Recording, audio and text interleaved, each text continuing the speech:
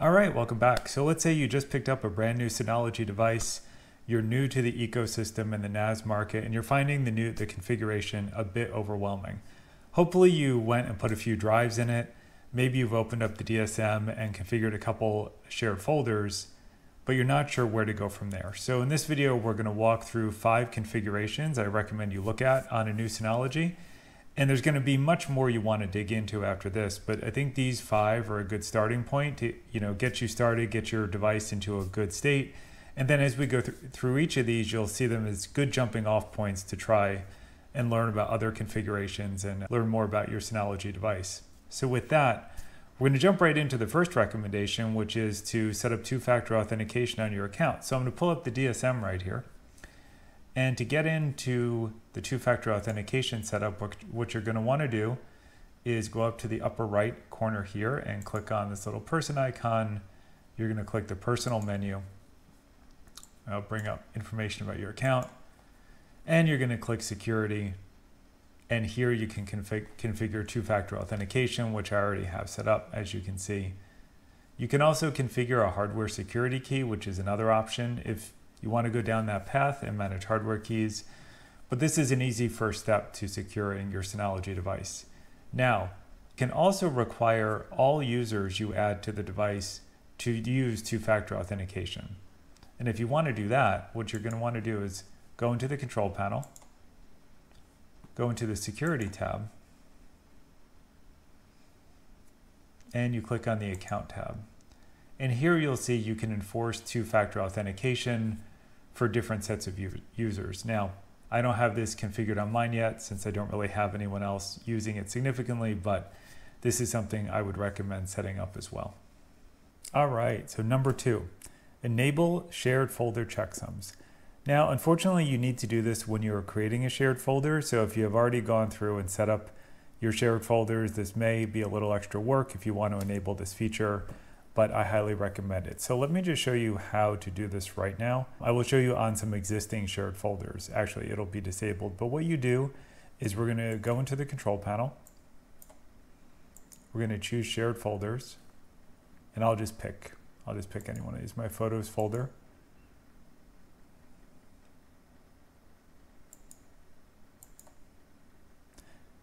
And in the Advanced tab, you can see, and this is grayed out because this shared folder already exists, but enable data checksum for advanced integrity.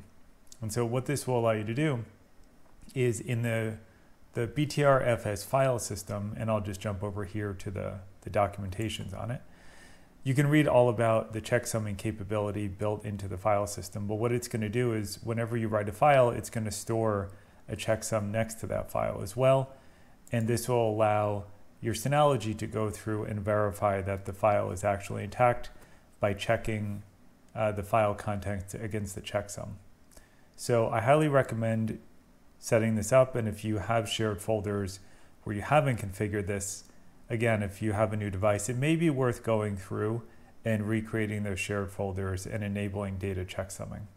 Now, just to jump back to the ButterFS file system documentation and provide a bit more information on this. So we can, uh, we can read along here. So data and metadata are checksum by default. The checksum is calculated before write and verified after reading blocks from devices. The whole metadata block has a checksum stored inline in the B tree node header, and each data block has a detached checksum stored in the checksum tree. So that tells you a little bit more about how the checksumming works. And I would imagine, though I don't have any data to back it up, that there is a performance penalty with storing this additional checksum and calculating it each time.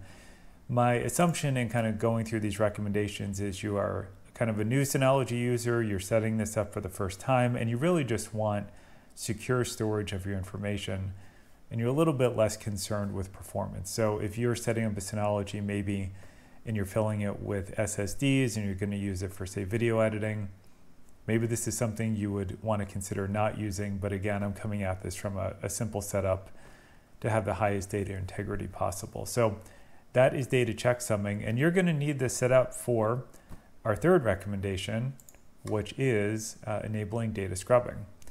So data scrubbing, like I just said, depends on uh, data checksumming to be enabled. So to get to data scrubbing, We're going to go back and what we're going to do is open up the storage manager.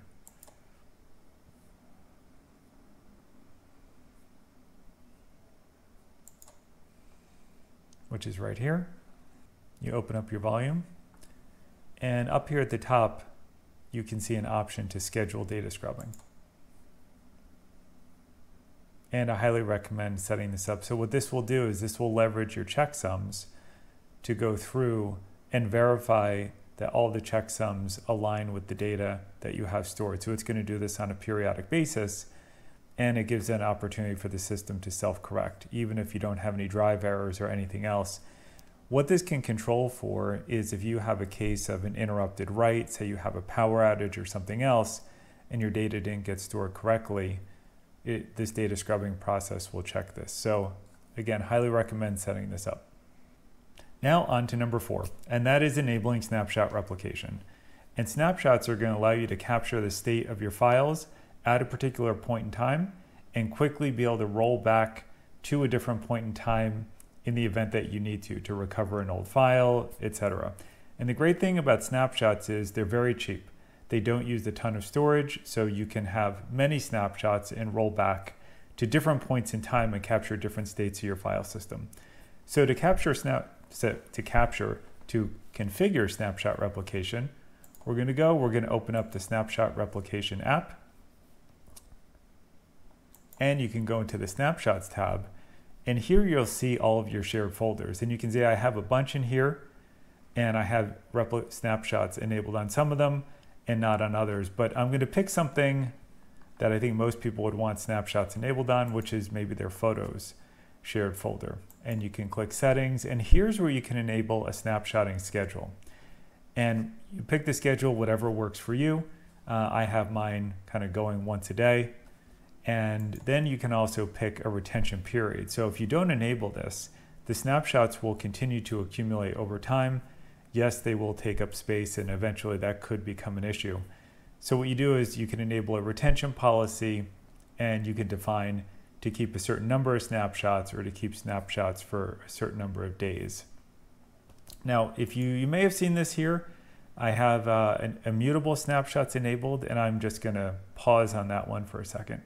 And I'm just gonna show you one other thing. So if I look at my documents folder, again, that's a very small folder. Just have some Word documents, Excel, things like that in there. I have this snapshotting every two hours. And just in case, like if I if I lose a document or something happens, I want to be able to get back to that regularly.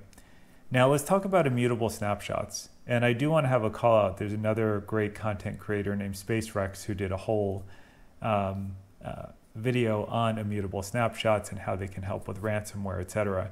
But think about an immutable snapshot as a snapshot that cannot be deleted pretty much under any circumstances. The snapshots when, that are normally created, you can go in, delete them. If you're an admin, you can remove them, etc. There is no way to remove an immutable snapshot, which is great. So if something really bad happens to your machine, like in the case of ransomware, etc., even if someone has admin access to your machine, in theory, they cannot delete an immutable snapshot. And so you may want to consider enabling these. The one downside is that because they cannot be deleted, if you end up running out of space, you're going to have to wait the retention period to get that space back, or you're going to have to look for other ways to reclaim space, add drives, do something else. So as you can see for my very important data, I do have immutable snapshots enabled, and I recommend that as well. Well, I recommend looking into it for your, your most critical data. And just, just to show you how I set it up, I put up I set up snapshots on what I consider to be most important data. So photos, uh, documents. I am running a little Git server and I wanted to be able to roll back just in case uh, of an issue there and for my home directories. And so for other things like my media server, I was playing around with the Proxmox backup. Don't really need snapshots on here, don't care. So that's uh, recommendation number four, which is setting up your snapshot replication. So that was recommendation number four, but I actually forgot one thing. I just wanted to show you that's how you configure snapshots. But if you go over to the recovery tab, if you need to get data from a snapshot back, this is where you can do it. So if I went into my documents folder and I click recover, here's where I can see all of the snapshots that have been stored for this folder. And you can see I have 370 of them, maybe a bit much, but it's nice. And you can see which ones are immutable. And so I could pick one of these and I could choose to restore everything to that snapshot. I can actually choose to browse the snapshot, which it's telling me here I have to make the snapshot visible, which then I'd be able to see it in the file system. But if I did that, I could actually browse the snapshot as if it was a, a folder and I could pick out individual files I need, which is great if you need to get a single file back. So that's how you use snapshots for recovery. Okay, now that's the end of uh, recommendation number four. Now let's move on to recommendation number five, which is configuring hyper backup. So if you think about kind of what we've gone through so far, we set up two-factor authentication. Great, that makes uh, your Synology more secure. We've gone through and enabled data checksumming to make your data more secure. Then we enabled data scrubbing, which is another kind of level of making your data more secure. Snapshots, one more level making your data more secure.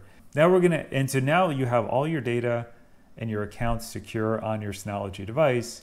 But of course, if something happens to the Synology device, fire, theft, etc., uh, your data is still potentially lost. So that's where Hyper Backup comes in and kind of built doing an offsite backup is an important part of a backup strategy. And Hyper Backup. Now, as I kind of said at the beginning of this, you can dive into any of these topics much deeper, and Hyper Backup is one of them. There are entire videos and lots of information on all the ways you can configure Hyper Backup and how to make it best for use your use case. But I'm going to just kind of give you a quick walkthrough so you get a flavor of what it's capable of. So you go, you open the Hyper Backup app. All right. So I do have a, a backup set up, which I'll come back to in a second. But assuming you have nothing set up and you want to add a new backup, here's what you can do. You can choose to backup specific folders or packages, or you can choose to backup the entire system. Now let's just pretend for a second we want to backup the entire system. I'll choose that. And you can see you have two options. So one is to use Synology's storage service, which obviously there is a, a fee associated with that. And you can kind of go dig into all the fees and if it's worth it. And I actually haven't really looked at this too much. But I, I gather it is pretty good and simple and well integrated with this. And you know, probably a good path worth looking into. The other thing you can do for a, a, full backup is a remote NAS. So imagine if you have the ability to put another Synology device somewhere at a friend's house, family member's house, you could do a complete system backup to that device. Now going back, if you want to back up individual folders or packages, you have many options. Similarly, you can back up to Synology C2 service. You can back up again to a remote NAS. But here you can back up to a local shared folder. And by the way, that means a local shared folder on the Synology. You can back up to a USB, which is great. So you can back everything up to a USB drive once in a while and take that offsite to a secure location. Simple method and it works, and I've done that quite a bit. Then you have the option of backing up to various different cloud services, Dropbox, Google Drive, S3, etc. And then you can back up um, to another file server using rsync or different methods. So like I said, you can kind of dive into each one of these and find out what's right for you. You can figure out like how much you want to spend on an offsite backup. And if you want to use a cloud service, if you feel comfortable having your data there, if you want to pay the monthly fees, etc., there are many options. Now, what I ended up doing, so what I do, I just do an, a USB drive for an offsite backup and I take it somewhere else. I haven't had time to kind of look into a cloud-based solution yet, but definitely something I'm going to look at. But the other thing I have set up is I was playing with kind of some additional hardware I had around the house and, and getting like a home lab setup going. So I set up a, a TrueNAS uh, server on another piece of hardware. And if you're not familiar with it, TrueNAS is another uh, storage service. Some people love, and I would just want to play with it and see what its capabilities were. So I set up this other storage pool on TrueNAS, and I basically set my Synology uh, to rsync over to the, Tru- the TrueNAS instance I think once a day. Now, of course, this doesn't solve the uh, the offsite backup problem, but it does give me an option in the event that something really bad happened to the Synology. All right, so that covers hyper backup. As a starting point, and I think that takes us through. Yeah, got my list here, all five of the uh, recommended, you know, configuration items you look at with your new Synology. But we're not going to stop there. We could probably go on and do like 20 or 30 of these, but I'm going to. Ju- I'll give you one more. All right, and the one more item is number six on our list for today. Is I highly recommend checking out the Synology apps, and in particular the Synology Drive, Synology Photos. You can check out Synology Office as well. They, to me, they really make the Synology device, uh, I was going to say special, but really valuable for household environments, allowing you to create like cloud applications in your home and get away from applications like Google Drive, OneDrive, etc., if that's what you want to do. But I actually find the applications to just be much better for those purposes. And so I'll give you a quick a quick kind of dive into some of them. For me, Synology Drive is, is one of the best uh, applications for file sharing around a household and even outside of the house. So, and it, and it actually adds a, another layer of security over your data. Uh, so with Synology Drive, and I opened up the Synology Drive console app here, you'll need to install this. What you do is you set up team folders, and you can see here, these are most of my shared folders, which I, I have enabled as team folders. So for example, documents, uh, photos, etc. And then what you can do is you can access these through mobile apps. You can install client applications on other devices, etc. So let me just show you. There are also web uh, interfaces as well. So I have these these shared folders enabled on Synology Drive. And then you can open up the Synology Drive interface, which looks a whole lot like Google Drive. And I'm sorry, a lot of this is blurred out as this is actually my, uh, my running Synology Drive. So you can go through, you can open these files, edit them, etc. And one cool thing Synology Drive does, on top of everything else we just went through, it stores versions of files on top of everything else we just showed. So you have snapshots, you have all the data checksumming. Synology Drive is going to store file versions as well, making it easy to roll back to those versions uh, in the case of a, a problem, conflict, etc. Let me just show what it looks like when you, so this is uh, on the DSM, and then over on a Windows device, you can basically, you install the Synology Drive client, and you tell it what files you want or what folders you want to sync over. So let's see if we can get that up. So this window here, this is running on uh, my Windows PC. And you can see I have three folders uh, with Synology Drive syncing over. And this is two-way sync. So what happens is I actually can have these files sitting on my local PC. I can edit them locally so I get the speed of all of that. And then when changes are saved, they will get synced back to my Synology device. And similarly, when changes happen on the Synology device, I'll get them here. So I'll just show you a folder real quick. And here's what that looks like. And it just looks like any other folder in Windows. Uh, the key thing is you can see the status here shows if it's in the cloud or if it has a green circle, that means it's local. And so anything in the cloud is not taking up space on this device. Of course, if I go in and I, I can start to work on one of these files, I can download it, and then um, I can actually have it free up that space if I no longer need it. And you can then imagine that this client is now installed around different computers in your household, and it's a great way to share files uh, throughout the house. So that is Synology Drive. Again, quick introduction. And Synology Photos, very similar to a Google Photos and iCloud Photos like application, where there's a really nice web interface you can see all your photos, kind of sort through them. You could connect that through Plex and a media server to show on different devices in your household. But once you get all of your photos and data onto your Synology and you, you uh, install Synology Photos, it pretty much takes it from there and builds a great interface.